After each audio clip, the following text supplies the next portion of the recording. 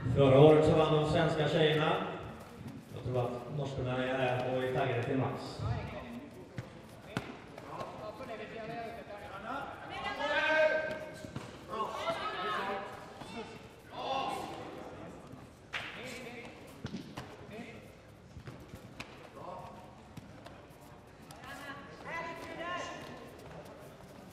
Tjejerna har lite mer skydd på sig, benskydd och bröstplatta.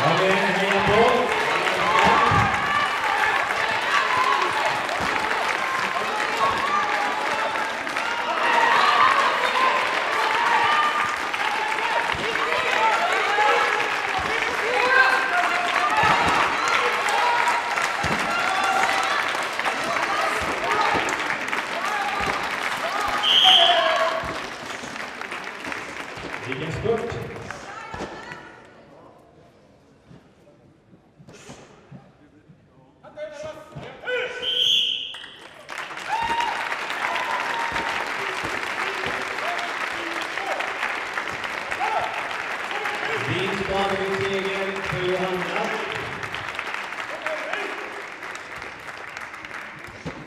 Än så länge 1-0 till Sverige.